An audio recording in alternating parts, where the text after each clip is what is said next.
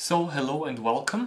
Um, today I'm going to show you how to make a wet mount and first let's have a look at the different parts and the materials that you need. Over here I've got uh, suspended in some water, I've got my sample material to look at. In this case it's a water sample from a pond um, and it contains uh, some algae suspended in the water. You need uh, glass slides regular microscopy, uh, microscopic glass slides, of course, cover glasses over here, then a dropper pipette, tweezers, and over here I've got some filter paper. You can also use tissue paper, of course, uh, but uh, filter paper I think works better because it it's got a, um, a, sharp corner and this way it's easier for me to take, it's easier to take up the water um, from, from the slide. I've got a little more control. So filter paper is better. Okay, so let's uh, start to make um, our first wet mount. First and foremost, uh, it's kind of important that you mix the sample a little bit so that to make sure that all the algae um, are properly suspended in the water. And then of course you can take the dropper to pick up some of the sample material you, you apply a small amount of sample on the glass slide. Then you take a cover glass and here you have to really make sure that you only take one of them. They're pretty thin, around 0.1 millimeter thick depending on the, on the type that you get. 0.1 or 0.15 actually is, is quite a common standard. You always handle the um, cover slips here on the side to prevent fingerprints. And now basically the thing that you should not do is you should not go like this and drop it on the slide. Why not? Um, because this way you uh, catch air bubbles beneath the cover glass and this way you um, essentially these uh, air bubbles are somewhat disturbing. Um, they're not a big problem, but if there are too many of them, then they actually hinder the movement of the organisms, and um, yeah, they kind of uh, do not make a very nice. Uh, they do not make a very nice picture. So um, that's not the way to do it. So what's the way to do it? Of course, you apply again the, the sample material. You properly suspend the algae. You apply a small amount of sample material here and then instead of just simply dropping it on the glass slide you do the following. You can use tweezers again or you can do it with your fingers. You go at an angle over here and then you carefully lower it like this. And this way the water flows over here and pushes out all the air. Now it can be that essentially you've got a little bit too much water. And let's try this. Okay let's see what to do in, if you have too much water. Okay so here we're overdoing it a little bit. You see that there are some air bubbles here as well. Okay and in this case um, you've got the problem that the cover glass floats on the water like this okay?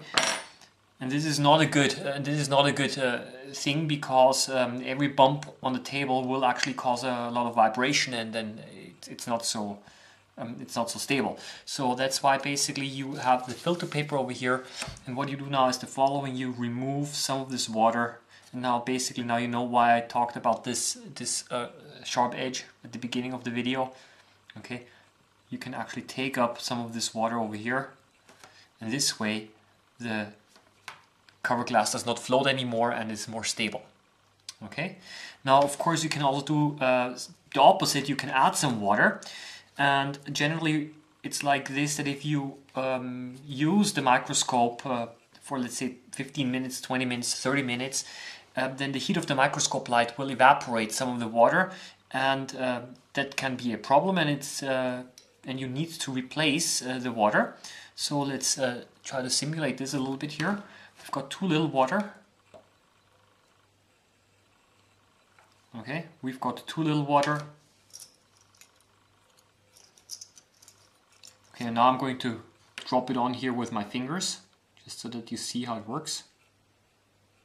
Okay, and uh, I don't know if you're able to see this, um, you see that there's a lot of air over here on the side. So how can you apply now more water? And there are two ways. Of course, you can use again the dropper pipette and you can apply water like this. And you see that the capillary action and surface tension will pull the water in. And a second possibility that you can do, and I like to do this actually, um, I take tweezers, I close the tweezers like this and I dip it into the water. And now I've got a little water drop caught, uh, caught in here. And then essentially by touching it here on the side I'm able to, and opening tweezers again, I'm able to add more water okay to the cover slip. And of course if you overdo this what's going to happen yeah you've got the cover glass floating on the slide again in this case you should again remove some of the liquid okay so that's essentially the simple and easy version of making a wet mount. Okay, so um, next we're going to have a look um, at making a wet mount using a, a dry sample. Now let's assume that the sample is not already uh, suspended, is not already present um, in, in water, like uh, for example we had before like in, in uh, a pond water sample. Let's say that I would like to have a look at some house dust over here. This house dust of course is in a dry condition and uh, here as well I, uh, the house dust has to be uh, placed into water first otherwise you do not get the optimum resolution. So I'm going to do it like this. I take some water over here. I place the house dust into the water and now I do have the problem I do have the problem that the house dust itself is not completely covered in water and if I drop now the the slide, uh, the cover slip, um, the cover glass on top of it I have a lot of air bubbles. So um, what I need to do now is the following. I need to apply um, also on the top of the house dust some water. And you notice that this is kind of difficult because the fibers, many of these are, are textile fibers, they do not like, uh, they're hydrophobic and therefore do not like to uh, be in contact with the water. So it takes a little more time for the whole thing to actually accept the water and then you still have the problems of having uh, too, uh, too many air bubbles in here. So, um, but still the procedure is pretty much the same, okay?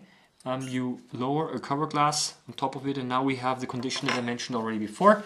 There is too much uh, liquid and the whole cover glass is floating around and giving you an unstable picture.